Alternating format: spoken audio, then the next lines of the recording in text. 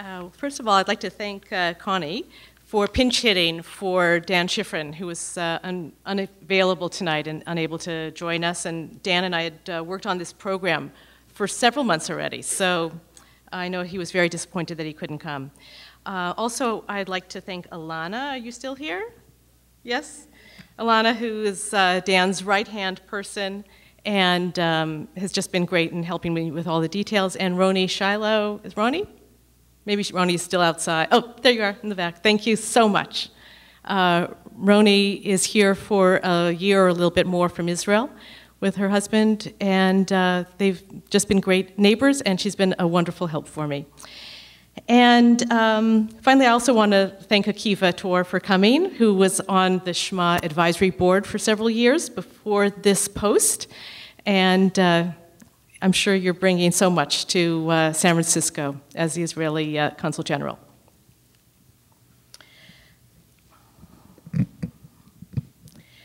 So the journal Sh'ma turned 40 years old this year. And 40 is the numerical equivalent of the Hebrew letter mem, which is the first letter for the word midbar and mayim. And I thought about this in relation to uh, Sh'ma, because midbar is the desert and mayim is water. And when I, I mention this because, especially when we think about pluralism, sometimes those of us who are deeply engaged in pluralistic dialogue feel like we're wandering around in a, in a very parched desert. And sometimes we're also really in search of a pool of water. So I thought of that and I was thinking about how we would celebrate uh, the 40th year of Sh'ma. And it's coincidental that we happen to be moving here to California. And uh, we really uh, very much thank Josh Rolnick and his Family Foundation for making that possible. And Josh is going to close the program later. He'll have his own few words.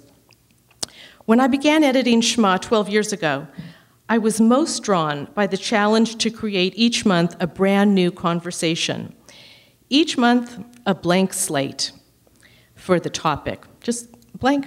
We can come up with whatever we want. And a brand new configuration of writers and questions.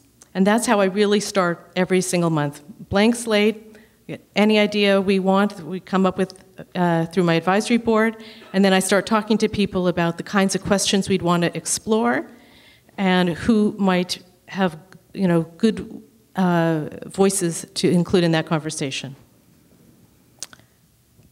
The one thing that never changes from month to month is our commitment to pluralism. It's one of the core principles of the journal, and it has been to, since its founding in 1970. From the very first issue, there's been a commitment to the idea that including a range of voices actually strengthens community. And that is one of the reasons why tonight we're having a launch in the form of this open conversation. So last month, uh, the topic of Sh'ma was do it yourself Judaism. And I asked an array of different people to write, as I always do. And one of the people that wrote is a young woman who's uh, living in Israel. She's on a MASA program, which is a five month Israel experience for post college students. And she was living on an Israeli eco farm. And uh, this is, I'm just going to capture a paragraph of what she said in the magazine. An integral concept in permaculture design is the edge effect the interaction at the borders between separate niches. The edges are where things happen. Transition zones in nature where edges meet are the most active, productive, and stable due to their biodiversity. For instance, plants that grow at the edges of a pond attract fish to feed and breed there. So designing a wavy shape to the pond rather than a circular one maximizes the edge, leading to a more active habitat. Strong ecosystems result when the borders that make up an edge are distinct yet permeable. And these edges are both productive, as Talia Oberfield wrote, and they're also scary.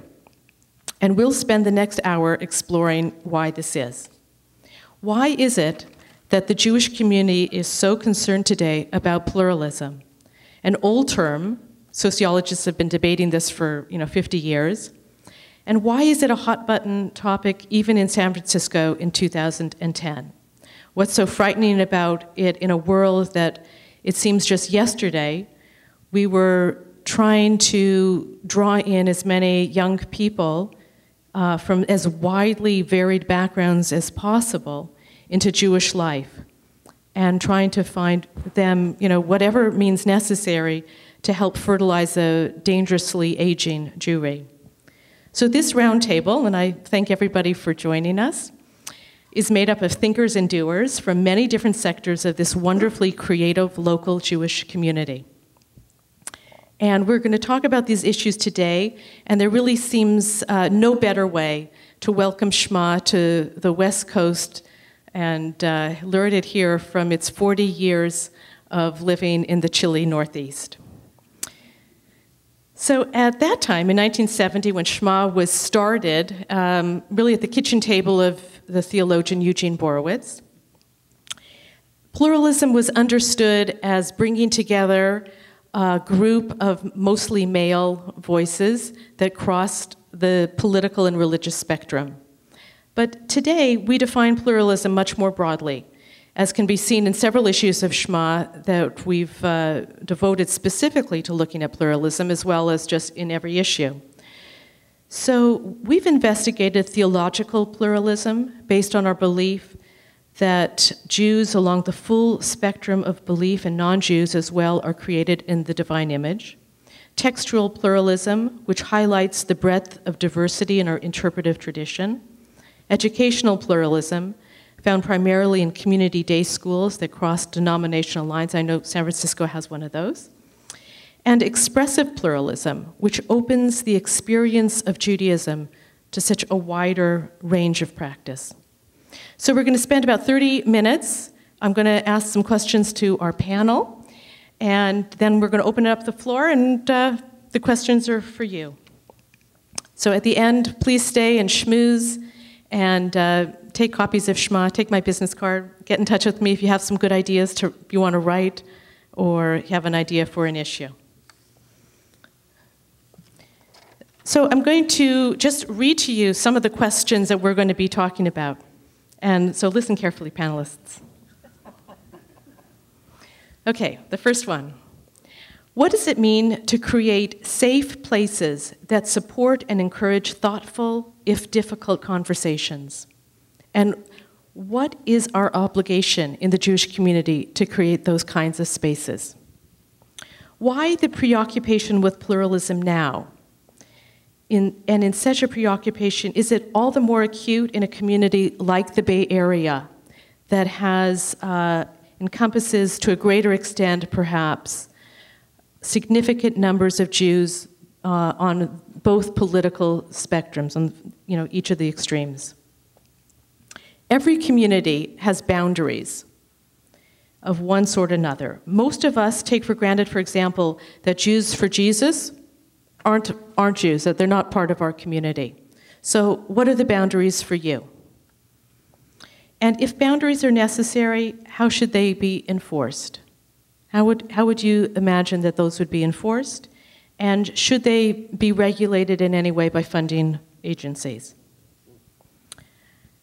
Uh, last, last fall, Ben Dreyfus wrote in the Forward after the uh, reform movement's biennial that uh, religious liberals had to start to uh, frame the way liberal Judaism was and uh, to not allow Orthodox Judaism to create what was normative for Judaism. So, how do liberal Jews who consider themselves pluralists engage with Jews who are not pluralists? In terms of kashrut, for example, how might a group of Jews decide on the standards of kashrut? Uh, the San Francisco Jewish Community Federation Board, under the direction of Rabbi Doug Kahn of the JCRC, has just released a set of guidelines for grantees. In part, this was a response to the Jewish Film Festival screening last summer of the film about Rachel Corrie. Can such guidelines, and though you might not be familiar with these specific guidelines, uh, can these guidelines signal worry for maintaining a vibrant collection of voices? Uh, what is the connection between a communal push for peoplehood, which aims to pitch a very broad, wide tent for all Jews, and the creating of certain barriers for Jews around the periphery. And finally, uh, in 1983, Amos Oz, in his book In the Land of Israel, wrote Pluralism is a fact. It is imperative that we come to terms with it, even if with clenched teeth, and not get caught up in excommunications and ostracisms and banishments. This pluralism follows from the multifaceted experience of the Jewish people and of modern Israel, regardless of whether it pleases us or worries us. I believe in spiritual pluralism as a desirable condition. An abundance of approaches and traditions and opinions and lifestyles, including spiritual imports, is a potential source of creative tension. So just think about that and think about whether you agree with that or not and how that affects you as a, an artist. Okay, that's all. That, that should be pretty easy. Okay, let me introduce the panelists and then we will we'll get going on those questions. So first we have Rabbi Lavey Derby. Um, is the rabbi of congregation Kol Shofar in Tiburon, where he has been instrumental in creating a community built on the principles of spirituality, quest, practice, Torah study, and social action. Before coming to Kol Shofar, Levi served as the executive director of the Council on Jewish Life, a community building department of the LA Federation. Karen Kushner, two, two over, is the executive director of the Jewish Welcome Network, a nonprofit initiative that provides outreach consultation and resources to synagogues, agencies, and Jewish schools of all denominations and affiliations in the Bay Area. And with Anita Diamant, uh, she's a co author of How to Raise a Jewish Child No Experience Necessary. And with her husband, Rabbi Larry Kushner, she's written Because Nothing Looks Like God, Where is God? What Does God Look Like? So, and then uh, Peter Stein on the far end is the executive director of the San Francisco Jewish Film Festival.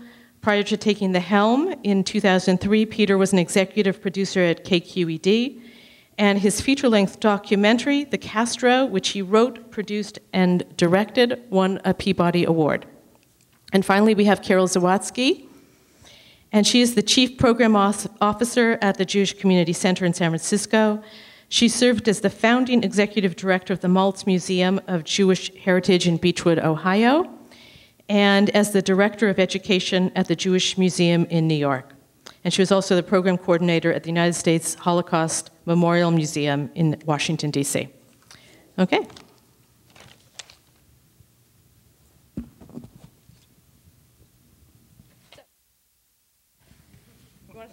You want to, they're on, right?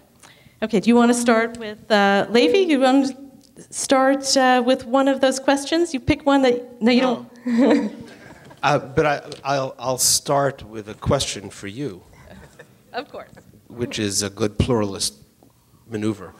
Um, or actually, I'd, I, I'd, start with the following challenge. Um,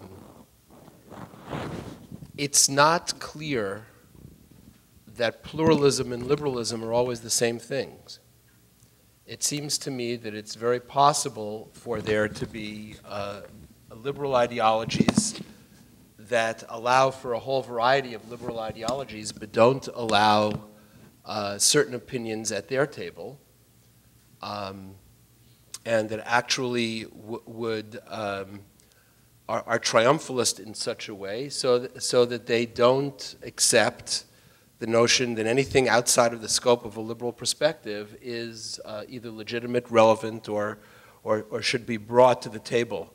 Um, there is uh, a very famous Talmudic passage I think that, that actually speaks to this question. Uh, it's called Tanur Shel Achnai, the oven of Achnai. Anyone who's studied a little bit of Talmud has come across this passage. But if you haven't, you can ask uh, any, any rabbi in the community uh, of any denomination to teach it to you. It's, it's a terrific passage, and it has to do with an argument between one rabbi, Rabbi Eliezer, and all the other rabbis who disagree, one against the many. Rabbi Eliezer is able to provide not only logical uh, uh, support for his position, but he's able to, to provide supernatural support for his position. Uh, the, the rabbis uh, ultimately excommunicate him. The rabbis themselves who create the rabbinic project, which is based on every opinion should be invited to the table in the interpretation of Torah. The rabbis who, who create rabbinic Judaism on the model that, uh, contra to Antonin Scalia, that the meaning of a text is not what the author wrote the text to mean, but what the reader says the text means those rabbis who allowed a plurality of opinions to be voiced in the Beit Midrash said that this one rabbi, Rabbi Eliezer, his opinion was not permissible, and he was in fact excommunicated. Is this what we do with people? So uh, the other thing I want to I, I want to suggest is I don't know that this is a new concern. Uh, my guess is that the preoccupation with pluralism now has to do with the American Jewish community's terror over what will happen with the state of Israel. Um, and that, that that fuels it, but uh, the, the, a preoccupation with pluralism has been going on for 25, 30 years in American Jewish dialogue. Some 25 or 30 years ago, one of my teachers, Rabbi Yitz Greenberg, wrote an essay in which he asked, Will there be one Jewish people in the year 2000? is there enough room for us to be able to express our religious opinions and our political opinions, and yet at the same time in diversity, and yet remain one Jewish people? And how do we, in fact, remain one Jewish people? So I don't know that it's a new question, but I would say it's certainly a thorny one. I think it's extremely important to have both ends of the spectrum within the tent. I'm always thinking in terms of the open tent because, as you heard, I work around helping institutions be ever more welcoming to interfaith families, uh, of, of whom I think they've lost their voice, or maybe the better image is to say that they're invisible in synagogues and often don't get spoken about. So I'm very concerned about the interfaith, the partners of, uh, in interfaith couples who are not Jewish, and I'm also concerned about the new wave of adult children of interfaith couples. And we had a lot of interfaith marriage in the 80s, and we're now seeing adults from those marriages. And these people are in our community, and yet they're on the periphery. And the question is, you know, how do we keep the tent open enough so that there is a periphery that is endlessly invited into the center? Because in my opinion, they can't be, they can't fall in love with Judaism, let alone falling in love with a Jew. They can't fall in love with Judaism unless they get into the center and are exposed to that rich, life-giving tradition that uh, has allowed for diversity for, for thousands of years, as Lavey told us. So I, I'd like to pick up a little bit on what does it mean to create a safe space, and that very much what you alluded to, that a safe space is different for different constituent groups. And when we may believe that we, what we've created is room for a dialogue, that dialogue may, as Karen says, have left people out of the, out of the conversation. What does that look like? And it's very striking to me that this conversation is taking place in a cultural arts institution. And to address the role of cultural arts in Jewish life in America today and how strong that is. It, it is not, not that this conversation perhaps couldn't have happened in a synagogue, but, but that this feels like such an appropriate space to be the contemporary Jewish museum for us to begin this conversation. Uh, following up on, on that question of a, of a safe space, I think uh, the, the question about um, how to create a tent that is both defined and yet has open, open flaps. Uh, uh, this question of peoplehood. This is all a question about definitions. And there's some who would like to define Jewish life in very precise ways. There's some who would, are, are, are suggesting that um, we can be pluralistic in the views that we listen to, but when push comes to shove, when there are issues around Israel's security, when there are issues around um, uh, the future of, of the Jewish people or continuity, that somehow definitions need to be made. Um, it used to be perhaps that rabbis made that definition and were feeling okay about ex, quote unquote excommunicating. Uh, recently, when one of your questions poses the idea that perhaps funding agencies are actually creating those definitions. Um, any of, the, of that sort of um, ar arbitering of Jewish identity um, is a matter of concern, um, particularly uh, in, a, in a moment when I feel that there is fear-based, uh, uh, fear-based boundary making. So it, it seems to me that, that part of the problem here is, is that we have so many different kinds of communities. We have people who come to a museum. We have synagogues. We have synagogues of different denominations. We have Jewish community centers, which are Jewish organizations that invite both Jews and non-Jews to be full members. We have a whole variety of different kinds of organizations, and these different mini communities, I think, probably have a right to set boundaries around their community and decide who is in and who is out.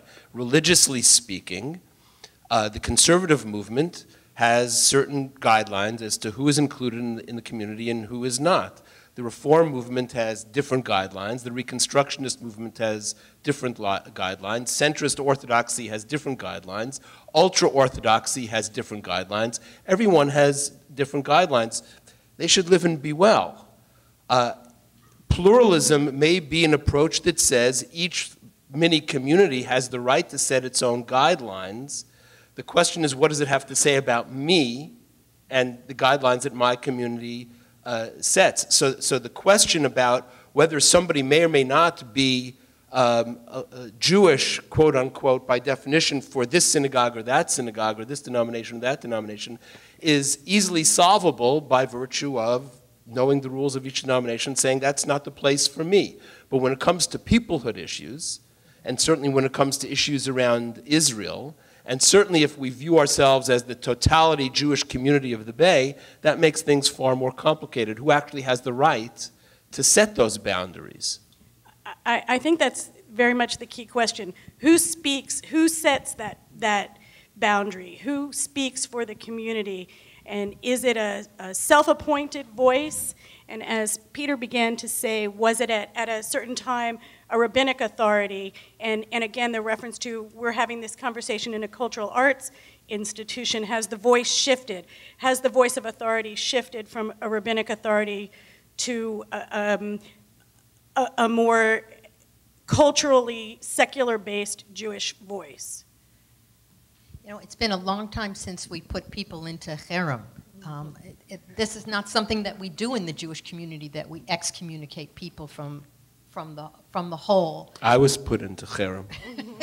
I, I, I, was excommunicated by three rabbis in Boston in a motel room. I wasn't in the motel room, but. I'm, I'm glad to hear that. This was getting to be sort of TMI. When no, but seriously, I, you know, when I think the problem comes when you we have an, institution which tries to define itself as the arbiter for the whole Bay Area, and I think that's you know it's it's maybe impossible for any one institution to really represent all of the different voices. I really liked uh, the quote that you talk about the biodiversity, how things are most fertile at the edges. And I think that's very powerfully true, and I think we have to be very careful that we don't chop off the edges and, um, and thereby really lose the vitality that, that is potential.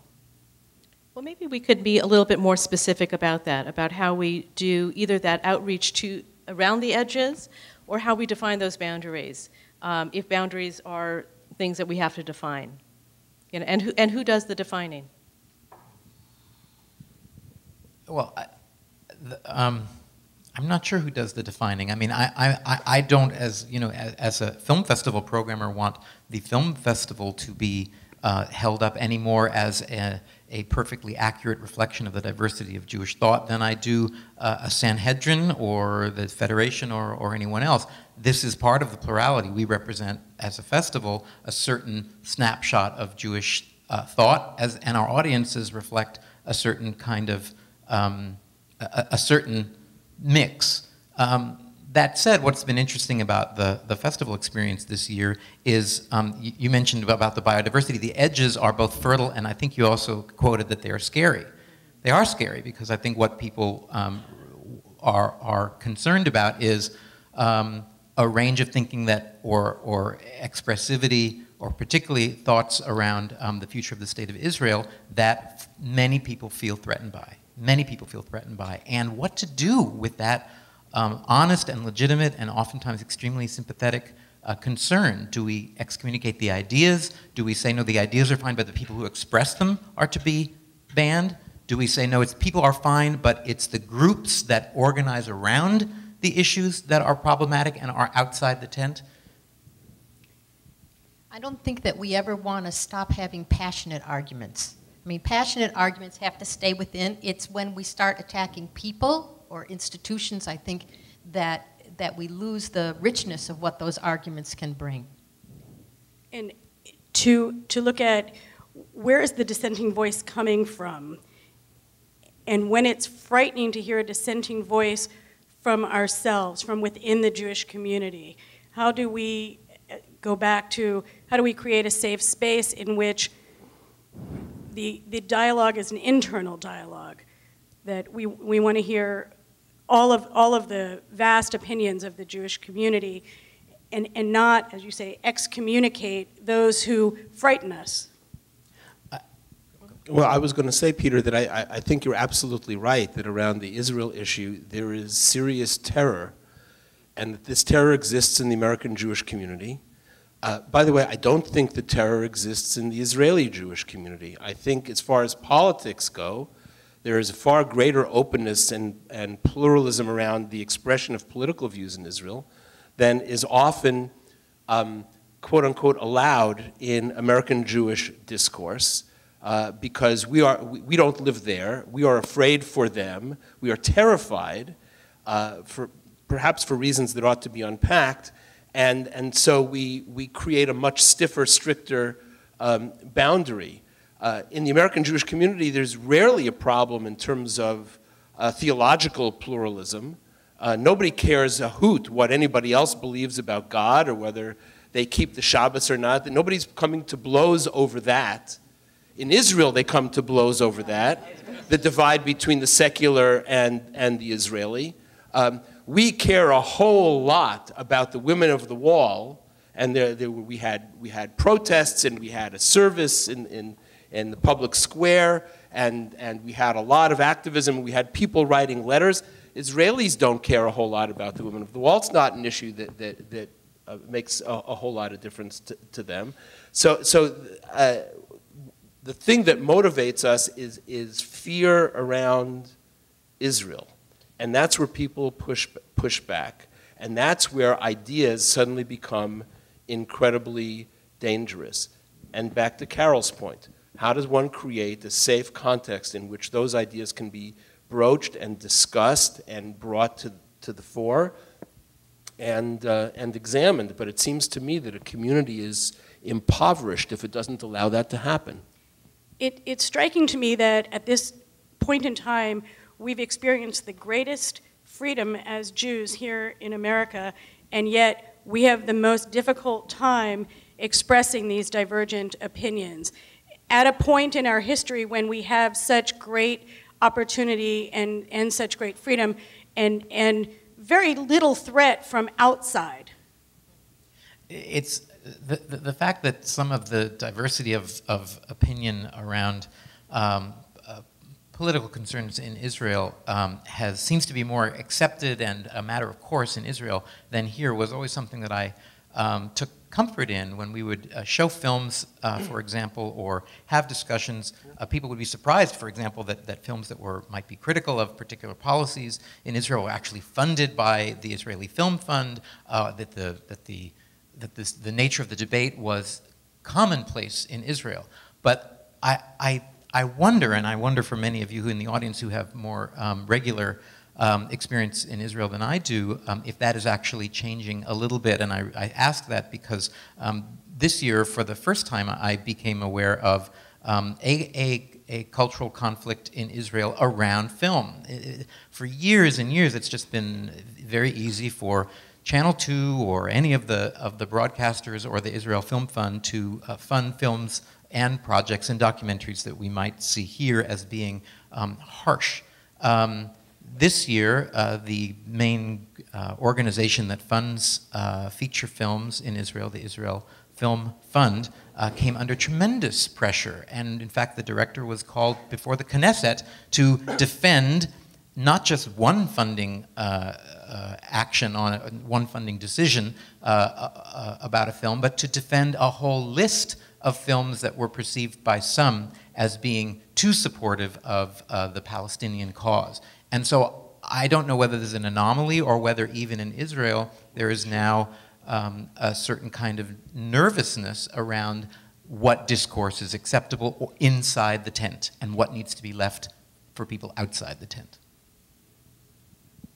Certainly within the museum community in Israel, there have been instances in which there was a demand to take down an exhibition which was a struggle for survivors to get their heads around, yet it spoke very powerfully to a third generation. And the, the museum made a choice to maintain the exhibition, to keep the exhibition up. But there has been that, that dialogue within Israel. What are the outer limits that we can push in terms of the com- a conversation? I think that the, the farther we get from the uh, establishment of the state of Israel, the, the younger generations who have lost touch with the miracle, really, that those of us who were around when, when the state was formed uh, feel so strongly. I think that they don't have the connection, the, the personal connection, uh, or the historical connection. And they judge Israel on the basis of the way they judge any country. That's a problem of education. Yeah. And that frightening statistic, of course, that 70% of American Jews have never been to Israel. I think that's the statistic I heard. Oh. So, how do you deal with education around Israel when 70% of American Jews don't make a choice to go and visit Israel? It is, I mean, it's, it's fascinating. You know, I, I do wonder whether the pluralism question changes a lot if, if Israel, if the question about Israel and its security and its political future um, is set aside for a moment. Um, I, I, don't know if we have um, a, a, sort of um, congruence of opinion on, on other aspects, or if there is if there's divergence of opinion in the United States or in the Bay Area, whether it it, it matters um, I, I, know my predecessors in my position at the film festival, the founders, Deborah Kaufman and Janice Plotkin, are, are here, and I've had many conversations over the years with them as to what the hot buttons of the festival films were over, over the years. And many of them were not about Israel or Arab Jewish relations at all. It was about portrayal of, of, of victimization of Jews uh, during the Nazi Holocaust, or it was about gay and lesbian identity in, uh, in, in Jewish life, and the the struggles for Jews to define what it is that makes our community um, multifaceted and yet one seem to shift in time. And we may just be in a moment right now um, that where the focus is on is is on Israel. And that skews the conversation significantly because that's where the that's where the terror is. As I think the the other religious issues, by and large, theological issues, don't motivate people to get to get concerned. But I'm kind of wondering now mm-hmm. whether we need to know exactly what we're talking about when we mention the word pluralism. What does a pluralist community actually look like? Is a is a pluralist community a community in which everyone agrees that every everyone else's opinion uh, is is equally right? Well, this, or, or, or, is a, or is a pluralist community a community that says you're entitled to be wrong in your opinion, as you're entitled to be as wrong in your opinion as you like? And I believe that my opinion is right, but I, but I think that your opinion should be at the table, even though I think it's wrong. I think that's a terrible opinion. Yeah. That's what I'm saying. You know, I think that's a really important question, and um, you know, I really want the conversation to be among all of you. I'll just step in for a minute and in terms of when I think about editing Sh'ma every month, I have that question right in front of me. And one of the things that I have to always think about is are there opinions that I will exclude? Are there certain uh, articles that are going to come in here and I'm not going to uh, print them? And one of the things that I, I always want to do is I want to make sure that people feel slightly unsettled in reading the magazine. And I think that a pluralist conversation should unsettle us. It should unsettle us around the edges and even in the center. It's, it's not that we need to um, be comfortable when we're talking to each other, but there's probably some boundaries that feel uh, out of bounds and beyond the pale. And, and, you know, those are individual decisions that we probably have to make all of the time. Um, in terms of Sh'ma, I have uh, rarely actually said, I can't print this article. Um, the one time we were doing an issue, and um, I had asked Nate Lewin, who is a uh, rather conservative litigator before the Supreme Court. He's a very, very intelligent man. Uh, to write an article. It was uh, an issue maybe about seven, eight years ago, and um, it was. Well, it was actually it was during the Second Intifada, and it was looking at the peace process, and um, the the piece I asked him to write didn't come in as I had intended it, and in fact it came in, and he said that one of the ways of responding to the Intifada would be to have uh, the families of the suicide bombers held responsible for the, the bombing. And how they would be held responsible would be to have them severely punished and assassinated, killed. And I remember, you know, looking at it and thinking, oh my goodness, that is so not the article I thought I was going to get. And I really felt so uncomfortable that that was beyond the pale for me but I am really committed to including the wide spectrum of voices. And then I thought to myself, well, he's not a crazy person, and if he's actually thinking this, the better way of dealing with it would be to actually have somebody engage him in a dialogue about it. So I asked Art Green to write a response and you know take his uh, essay apart and try to look at it from moral ground and they ran side by side. So I think that that is a model for me about how we deal with pluralism and what the edges are, and they are very scary. Mm-hmm. But if we just rest on being comfortable, I'm not really sure what kind of a community it is. So, well, how can we get more comfortable with discomfort? That's exactly what you're suggesting. And I think that that's what pluralism is it's a certain level of comfort with discomfort. And uh, it, maybe that's something we have to start talking about a lot, talking about with our kids, and and uh, bringing forward into the conversation. Plur, plur, the value of pluralism as a, as a social or a religious value is is it predicated on the idea that we actually are are exposed to the voices of pluralism, and this is what what is another kind of tidal shift I think in the world that we're living in today is that at least with regard to media we can now pick and choose what views we're actually exposed to. We can silo ourselves into um, sectors of opinion and belief, and certainly through the internet and through the diversification of cable news and so forth, you can actually live in a bubble in which pluralism is, is, is simply a concept. It's not the Talmud, which on one page gives you a, a variety of, of voices, but rather that, that in and of itself becomes a choice. You can choose to be pluralistic. Susan, you, I think, perhaps posed the question to me. I think it was you. What would an oath of allegiance look like for me as an American Jew? And that question is, is striking to me as an American Jew with a position in the community, not as, as a, an independent individual, but that for me as someone who is connected to a community that's committed to hearing multiple voices. And the notion that we create a space for a civic and civil dialogue, and that each of us is, makes a commitment to that as representatives of the communities that we are a part of. And I, I know that this is a particularly liberal perspective on the Talmud. Uh, but it, the Talmud is exactly as you describe it, I think, Peter, and that is a multiplicity of voices, all included, even though the, some of those voices will not accept some of those other voices. But they're all brought there for, uh, for the debate. And the notion that we are better off hearing only the kinds of opinions that leave us comfortable is, is to deny us of the possibility of the greatest growth. It is in the, in the encounter with the uncomfortable, that which discomforts us, that we have the possibility for greater understanding and, and greater growth. So all of those voices have to be uh, included simply, uh, the- well, the language that I usually speak is theological language, which is great because nobody really cares about theological language, so people stop listening.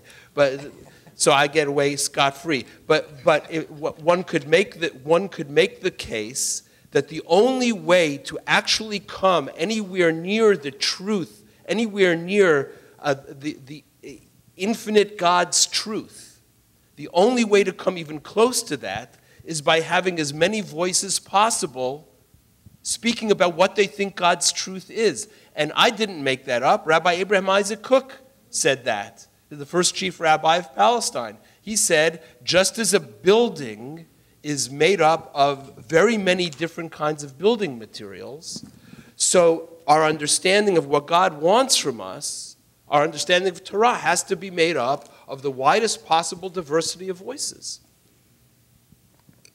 That should be true in politics also. And, and, and then we get to the how-to. How do we make that work? How do we responsibly create that, that, uh, that arena within the Jewish community? Well, we'll beat anybody who doesn't agree with us. Oh, that, well, that works.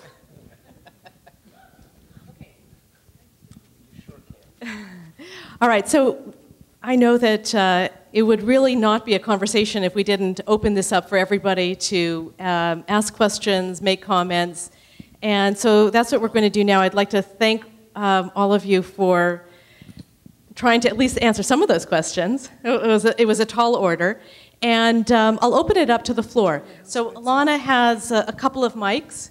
And if you want to ask a question, please just put your hand up and you'll get the mic. And then, um, and the questions can be directed uh, to anybody on the panel, or if you want to ask somebody in particular, that's okay too. Yes, go ahead. And could you say your name, please? Great, sure. Yeah. Hi, my name is Cecily Saraski. I'm with a group called Jewish Voice for Peace. I'm so thrilled to be here. I am so delighted by this panel. It means so much. Um, our organization is an anti-occupation Jewish organization. We actually have chapters all over the country. We have thousands I'm not going to interrupt you, inter- but could you just make your question? That's Yeah. really important. Well, well, two things. One, I want to say, uh, Karen, you said something about we don't excommunicate people today, and I wish that were true. And I hear the compassion in your voice, and that simply isn't the case, and it doesn't feel that way at all. And we find that when we speak out about the occupation, we are very actively excommunicated. And my question is this: um, None of the panelists have spoken specifically about the guidelines you brought up that the uh, Jewish Federation has just instituted. I've read them about 10 times, and they seem to me to be rather crude McCarthyite form of policing the boundaries of who is allowed to be Jewish and who isn't. Our members are already Jewish. We are part of your families, part of your shuls. We are part of the federation. We are everywhere. How is it? How do you feel? And I'm wondering if anyone actually from the Jewish Community Relations Council is here to talk about, given this intense love of pluralism, um, how to defend guidelines that actually banish a huge portion of the Jewish community, including, by the way, many iconic Okay, Jewish great. thinkers. Thank you. I appreciate it. Thanks for the it. question. Okay, anybody want to take that? Oh, yeah. Well, I haven't read the guidelines more than three times. Um, I didn't read the guidelines to say that anyone who espouses the views that your organization espouses is not Jewish. Nor did I read the guidelines to say that anybody who espouses the views that your organization uh, espouses um, can't be part of the community. I think they have very strong feelings about the ideas, but not about the people. You may not want to make that differentiation. But no one is saying you're not Jewish or that you can't be part of the Jewish community. What they are saying is you can't express that opinion within the Jewish community. And what, they, and what they're saying further is if you want to express that opinion in the Jewish community and have a program around it, we won't fund it. Now, it does seem to me that uh, communities have a right to decide what they will support and what they will not support.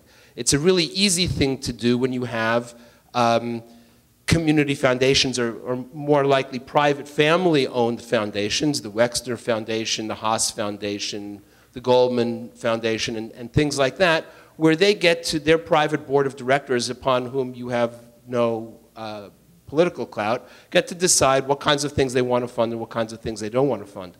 When it comes to a broad community federation, this whole issue has raised the real question about who really gets to decide what can be funded and what cannot be funded, what voices will be heard and what voices will not be heard.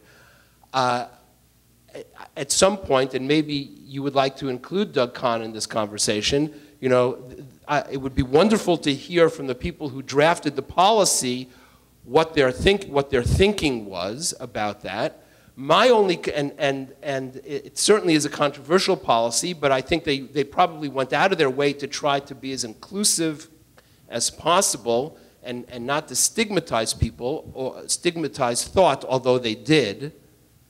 Uh, and there's the practical consequences, the consequence of funding. One of the questions that I have is whether if they're going to apply that, those guidelines to your organization, whether they're going to apply those guidelines equally to the organizations on the right that do not support the state of Israel, that are uh, anti-Zionist. I'm thinking about a whole variety of ultra-Orthodox organizations um, and whether they're willing to continue, whether they're willing to remove funding from Israeli organizations that support ultra-Orthodox communities that denies the Zionist philosophy and, and deny the right for, uh, even for Israel to exist as a secular government. That would be an interesting question. But I, I certainly understand your anger about it and your frustration.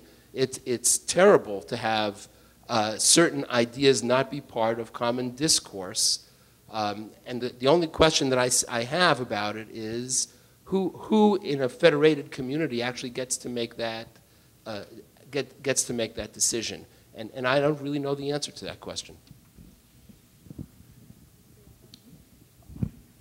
Just to, just to press the whole issue of unease.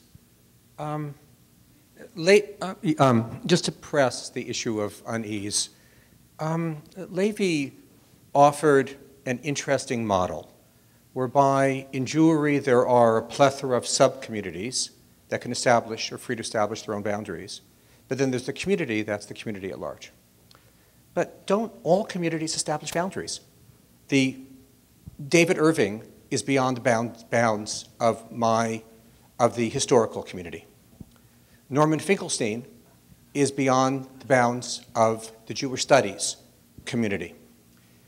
Um, the only group that we've acknowledged that is beyond the bounds of our Jewish community are Jews for Jesus. Um, no one objected to Susan's formulation. To some extent, I think the, um, there's nothing that I necessarily disagreed with that the panelists said, but I think the panelists may have not allowed themselves sufficient unease. In other words, we all do acknowledge boundaries. And um, so, so what are these for you personally? And, um, and, and, and once you air that, the Talmudic tradition is a tradition of argumentation, but my God, is it bounded. And um, so what, what are they for you, Lavey, for the other people on the panel? Oh, please start with somebody else. well, I agree that every group has boundaries, and uh, whether they're stated boundaries or whether they're you know, internal boundaries. But I think it, you know, it's different to talk about personal boundaries. And I mean, Peter talked about silos and how we read the, you know, political things that we're interested in or the cultural things that we're interested in, how that can, it can, you know, that can make us very stilted. And I think um, I, I still am staying with that thesis of, of the most fertility at the edges. So, you know, I think it's really different for individuals or even individual organizations to have boundaries and to say who is in and who is out, although I'm a huge proponent of permeability and of inviting people into the center. But it's another whole thing for the something which is amorphous, which is the greater Bay Area Jewish community, to be having some representatives define it and say what's in and what's out. I think that's just be, creates a whole messy, complex thing. Uh, and I, to, to, your, to your question, Steve, as to uh, there, there are certain boundaries that are easier to articulate than others, um, both in terms of the kinds of groups that, that any of us who run organizations would affiliate with. Um, uh, you know, there are, there are questions of, of, of coercion, deception, violence. I mean, the very very basic, um, uh, hard, bright lines where you say groups or people who consistently advocate or, or act on those kinds of um, principles are outside the bounds. What's harder is when you're dealing with questions that are a more, more delicate and, and, uh, and amorphous, or just simply ones that are, that are more easily controverted. Um, when we're in a moment where we are discussing and trying to understand what are collective or individual thoughts around the future of the state of Israel, to me, it's always much more productive to actually entertain the widest possible dialogue around that um, even though I, I actually uh, applaud the attempts that the JCF and the and JCRC have begun to make to try to understand what might be some uh, some guidelines the, or, or some policies. The question is when you're holding the instrument of enforcement of funding, uh, then you run the risk of having a true chilling effect on dialogue and on thought and on association. Uh, and those are um, consequences that I think we would not be well served by. I, I appreciate your question about personal boundaries and, and feel a, an obligation for myself to, to put my personal boundaries aside and to say I represent something bigger than my own personal boundaries when I take on the role of representing a, a community. Uh, if you don't mind, I'll, Steve, I'll go out on a limb for you. Um, I represent an organization to the extent that I'm a, I, am a, I make decisions for that organization, but I'm not the sole voice there. Let, let, me, let me say that um, I have questions about whether Jews for Jesus should be excluded from the community. You'll never hear a conservative rabbi say that. But frankly, there are a lot of there are a lot of Jews who are Jews for Jesus, who are far more frum and re- Jewishly religiously observant than, than the vast majority of born Jews, Jewish Jews in the Bay Area. So that's something. I might draw the line at any group that wants to tell me that my particular belief is wrong or that I actually think this language is meaningful, that my particular belief won't get me into heaven and that I, I must believe something else. I draw the line there, but maybe that boundary is not as, as, as clear cut as we always used to think it, it should be. Uh, so on, on the one hand, on the, on, on, in, the political, in the political spectrum, uh, I am very wary of wanting to include in discussions in my organization a spokespeople who, um, who say that the state of Israel should cease to exist as a Jewish state. Uh, people who want to criticize the policies of the government, come on down. Uh, people who on the, on the right who, who, who feel um, that, that, somehow Avigdor Lieberman as a minister of Knesset ought to be uh, supported, bring, the, bring it. Uh, anyone who, but, but, but, anyone who has a, a, in my opinion, anyone who has an opinion that has to do with violence against other people because they're other, seems to be way out of bounds in my reading of Jewish tradition. So um, I, I, think that, that thank you for pushing us. I, I think that when you, when you get to these touchy subjects, it's incredibly difficult to know where to draw these lines. And all I can do is take my best guess at any given moment until my mind is expanded or I learn more to know that I, I've placed the boundary in the wrong place. Um, there's also something to be said about semi-permeable boundaries, but that needs to be further unpacked. I think it's my turn. Um, okay, uh, uh, Hans Colby is my name. I'm okay. Sorry, Hans Colby is my name. Um, uh, my wife and I are here because we got invited after a presentation of the what's it called? our, about our Mein struggle? Kampf, yes, yes, about Mein Kampf. Um, because in the in the audience afterwards, so there is a presentation here of a book that represents the responses to Mein Kampf, and in the discussion about that book afterwards, um, the author was asked uh, if she had non-Jews participate, And she was a, I mean, she is a French lady, and she said, "Yeah, sure, I did. I. I mean, I just walked down the street." It didn't seem for her a, a reasonable question. But then the next question was, "Did Arabs participate?" And the person who asked that question said he would be very surprised if they did, because most Arabs really just want to destroy Israel and hate Jews. And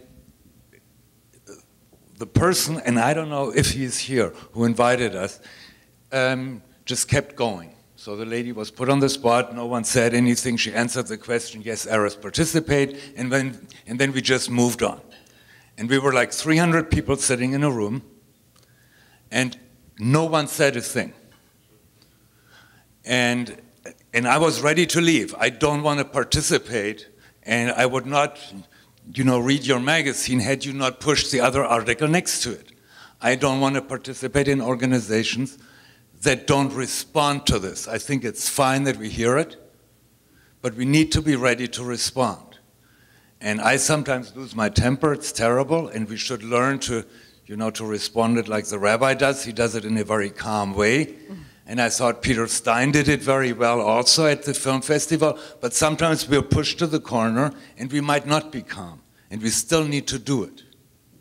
I think this is one of these lines where I think it's really important that we can keep this line. So, what I wanted to push you on was the two examples you gave. One was Jews for Jesus are excluded, and we all agree on that. And I was ready to stand up and say, Why not? I'm really glad you spoke. The second one was you said you accept someone who wants to kill the family of a suicide bomber. You accept them into the tent. No, I, I Well, do you, well, do you have a question? sounded Let- like- let- tell me the question, and then I'll try to respond. Well, the to question is I think the rabbi spoke and said he would not accept someone, um, uh, someone in the tent who agitates for violence. Right. So I just wanted to, Okay, so I guess I'm pressing you. Yes. So, uh, you know, that's a, it's a very particular um, issue, and it's a different thing to talk about a journal and a program or something like that. So, because I see the journal Sh'ma as an opportunity to include a lot of different voices that can speak to each other, I would never have allowed uh, his essay to stand on its own, and I probably today wouldn't have accepted it because of the because we now post um, you know, the Sh'ma is now digitized, and so you can take one article out of context, you know, and just, you know, it could run the internet within moments. So, but in, con- in concert with another person who was able to actually take his arguments and unpack them, I thought that was a valid educational opportunity for our readers. And I would only answer it in that regard. Okay? Yes, Harry?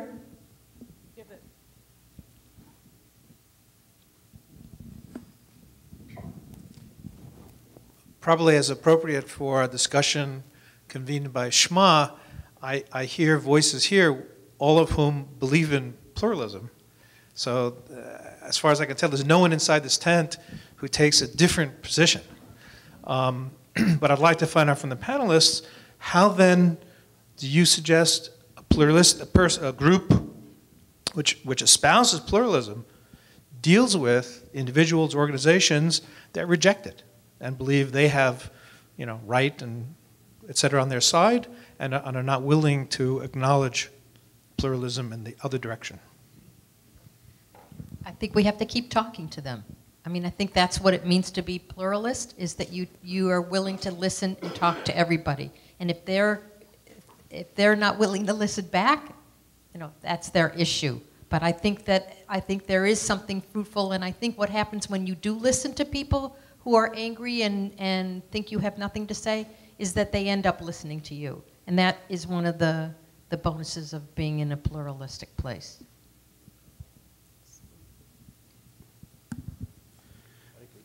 Thank you. I'll, I'll, I will be quick because I have many things, but I'll say them quickly. My name is Sidney Levy. I'm also from Jewish Voice for Peace.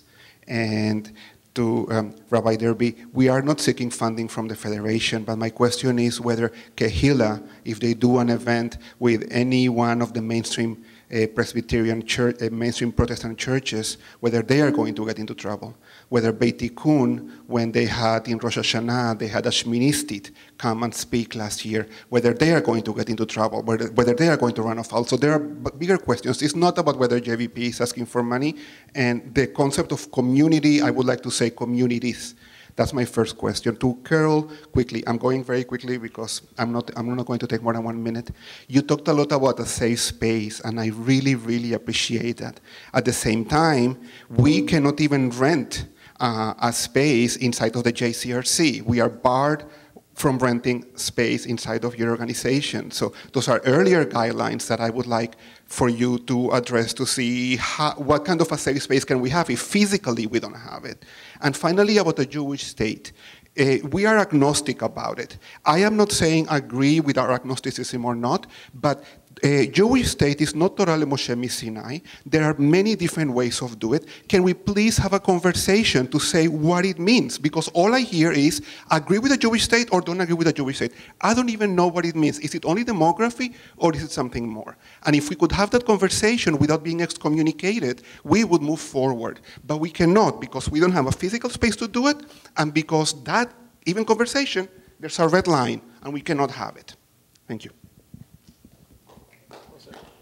So I guess you asked me two questions. Uh, to the first question, I don't know whether any of those organizations can be funded if they do those things. I, I, I don't sit on any funding boards of the Federation. Uh, thank God.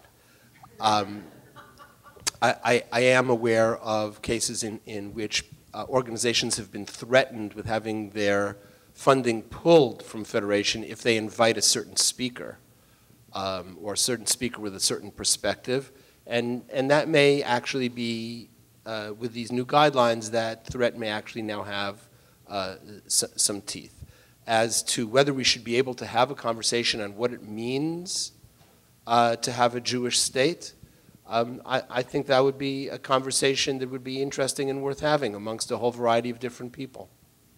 Yeah, let me, uh, can I just also add, I think it's really important to be able to make distinctions between um, hosting or facilitating a conversation, as may happen at the JCC or happens right here uh, or happens at the film festival, uh, and the implication that somehow hosting that conversation endorses or legitimizes or confers some kind of um, agreement um, with any part, any spectrum of the conversation that's being um, that's being presented, and that's that's also a, a gray area that I'm not entirely um, uh, thrilled about with the current state of the of the federation guidelines is this um, what begins to be an equation with um, presenting or hosting or let alone simply um, partnering uh, with an organization and the then the implicit assumption that therefore um, every piece of that organization's agenda you agree with or every link on their website is something that you would also put on your website. Um, it's a slippery slope and, and to, to answer you, we, we've also heard a lot about each entity, each institution certainly has the, the right to create its own boundaries. What are the boundaries of, of each institution, which I hope doesn't preclude your voice from being heard within the Bay Area Jewish community. It's a set of boundaries within an individual institution. And, and finding the right venue and the right space to have that conversation is, is larger than, than any singular institution.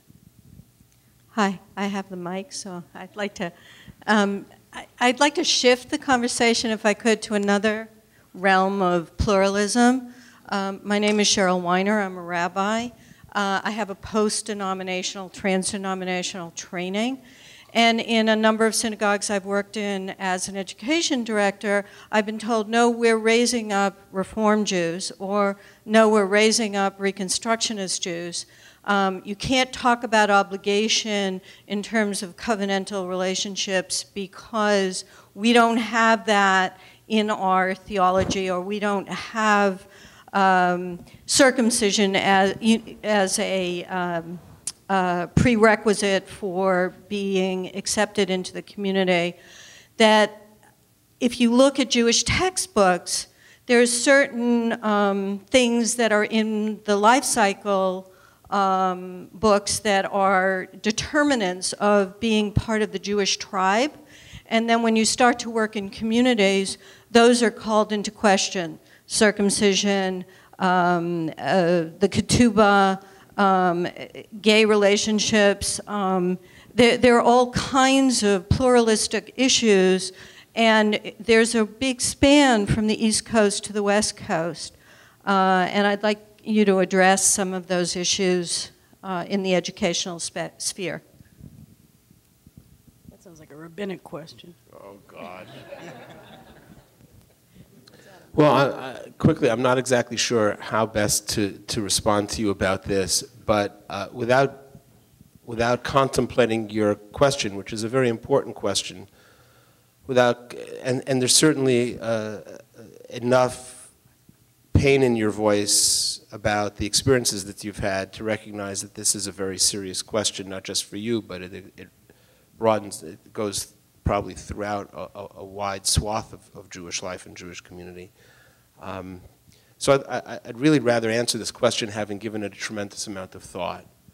Um, and I don't, but I don't, and I don't mean to be glib.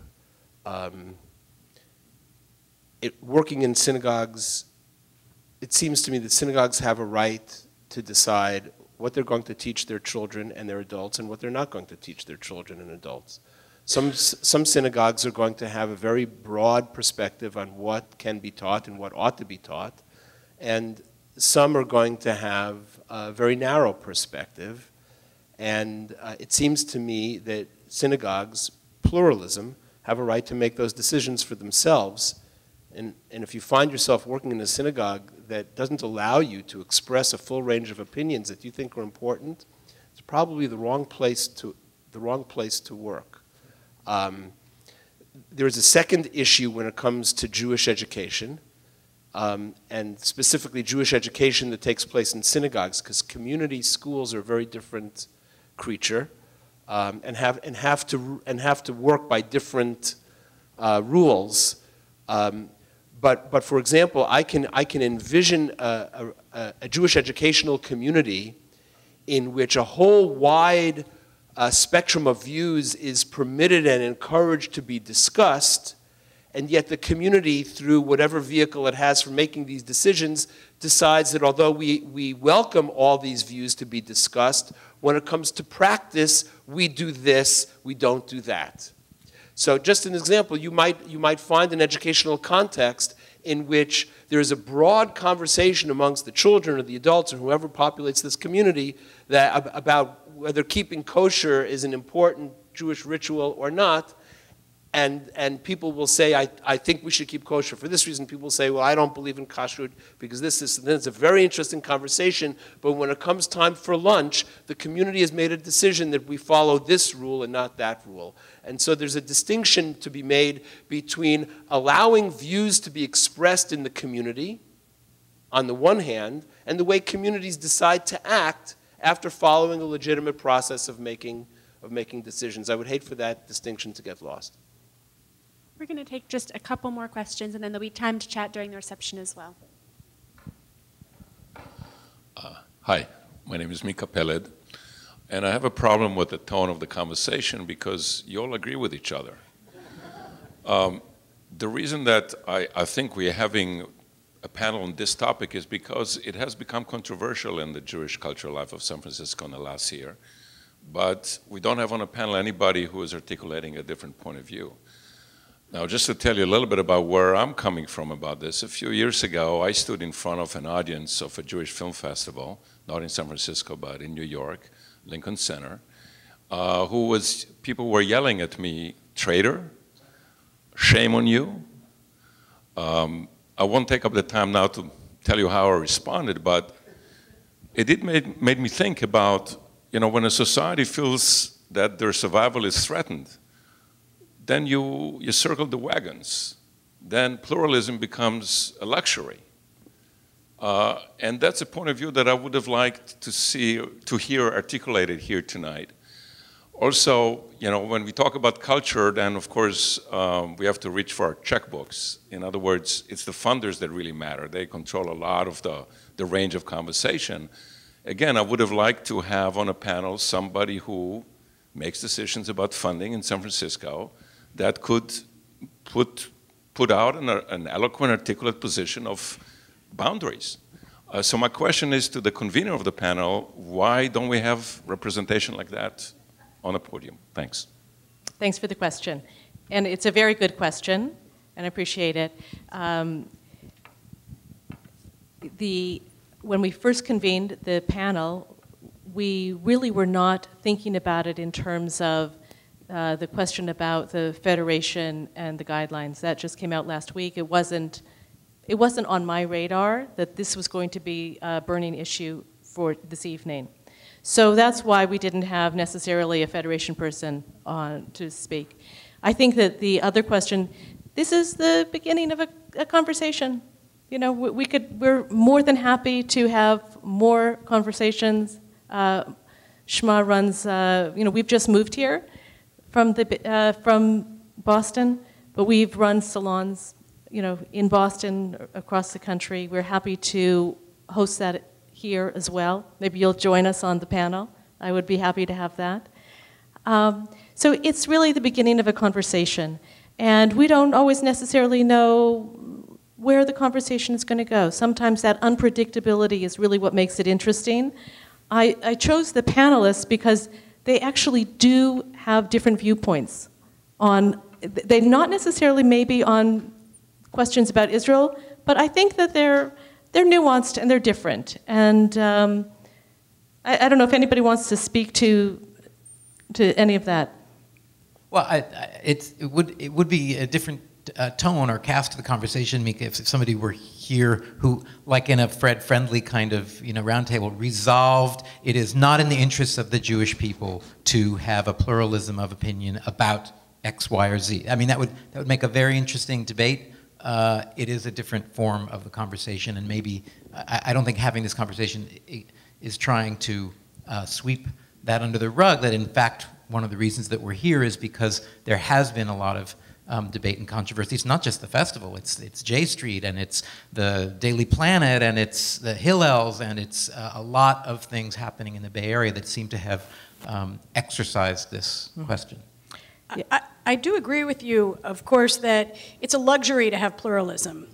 It's a luxury to be at this place in time here where we are, to be able to have these dissenting voices amongst ourselves, that, that we have the luxury of disagreeing with each other because we're not, we're, not, we're not feeling threatened by the outside. And I think it's those kinds of grounds that, that, that allow for this kind of conversation. And, and I do agree with you. This is a luxury that we have. I'm not sure I would agree with you, Carole. I, I don't think it's a luxury. I think it's fundamental to who we are as a people. And um, I'm not sure I could actually, um, you know, be the editor of a journal that was committed to pluralism if I thought it was just a luxury. It reminds me a little of the 1970s when the women's movement wanted to make inroads, and you know, some people would say, you know what, we have more important things to do right now that's a luxury. We'll, we'll handle that when we've taken care of, you know, Vietnam, civil rights, blah, blah, blah you know. So. Turns out we don't all agree. Okay. I'm not sure that I have a question for the panel, but I have heard some questions addressed somewhat in my direction tonight. I'm Doug Kahn from the uh, Jewish Community Relations Council. I do not speak for the Federation, but I was intimately involved in the creation of the policies and guidelines, along with some others who are, who are here tonight. And I think the key points I want to make for, for now are that the, every organization, and this includes organizations that fund others, has a right, maybe even a responsibility, to determine appropriate boundaries based on its core values. And what the Federation did here was simply to articulate policy to ensure that its funding is aligned with its core values. And those core values include a twin commitment. One is an abiding support for a secure, democratic Jewish state of Israel, and another is strong support for a broad based, lively, engaged, diverse community which can continue to discuss the vital issues of concern to our community in ways that will grow and sustain and enhance our community. And what the policy and guidelines try to do is to ensure that, in fact, in practice, we will be able to hold up both of those core values at a time when the polarization in the broader society is increasingly seeping into our own community. I would actually argue that in practice, the policy and the guidelines are more likely than not to help ensure continued strong dialogue and discourse and even expression of dissenting opinions than the absence of such a policy and guidelines would do. I know that we will live into it as it takes shape into our community, and I know that it will take common sense and good faith and a lot of trust in order to enhance the quality of our continued conversations as our community deals with these incredibly delicate and sometimes divisive issues.